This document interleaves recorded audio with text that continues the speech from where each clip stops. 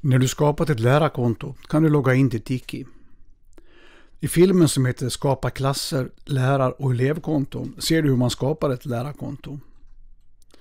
När du loggat in kommer du till huvudmenyn i Tiki.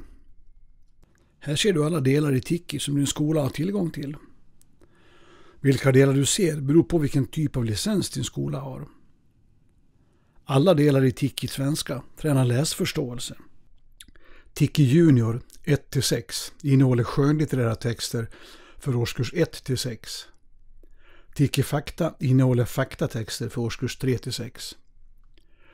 Både Tiki Junior och Tiki Fakta passar även bra för elever som läser svenska som andra språk i grundskolan. Tiki Fakta används också av elever på gymnasiets introduktionsprogram och av vuxna elever. Tiki Tänk riktar sig till vana läsare i årskurs 4 till 6. Tiki Hög och Tiki Mix riktar sig till elever från årskurs 7. Tiki Hög 1 passar för de elever som behöver stöd i sin läsprocess.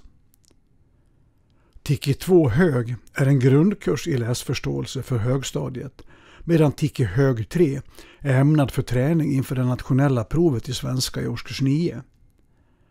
Tiki Mix riktar sig till vana läsare i årskurs 7 9. Mix innehåller längre texter och tränar dessutom ordkunskap. Även Ticke Hög 1 och 2 används av elever som läser svenska som andraspråk. Klicka på logotypen för den del du vill titta på. Jag väljer Ticke Fakta 3. Nu har logotypen på menyraden bytts till logotypen för Ticke Fakta 3. Du ser några länkar till vänster på menyskärmen. Klicka på Till övningarna. Nu ser du alla uppdrag och alla övningar som finns i Tiki Fakta 3.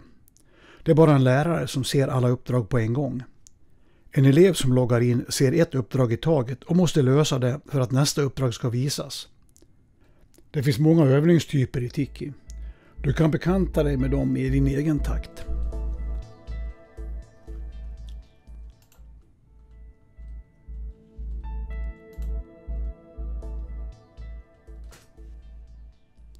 När du vill titta på en annan del i Tiki klickar du på länken Tillbaka till huvudmenyn.